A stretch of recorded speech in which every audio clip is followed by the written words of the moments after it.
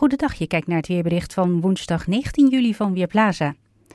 Het was vandaag een warme en vochtige dag met een aantal buien die van zuid naar noord over ons land trokken. Op de satellietfoto is dat goed te zien met overwegend veel bewolking boven ons land.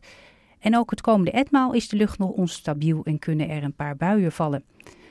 Maar vrijdag blijft het droog. Van het weekend ligt er dan een lage drukgebied boven Engeland en is het dan opnieuw onstabiel.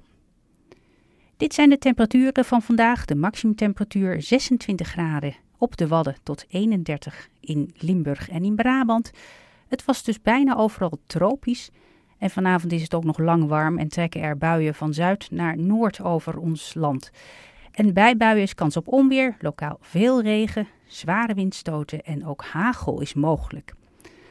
Vannacht trekken de buien naar Duitsland weg en koelt het uiteindelijk af naar 18 tot 20 graden. Het wordt dus een klamme nacht. Maar morgen dan trekt de zuidwestelijke wind aan naar windkracht 4.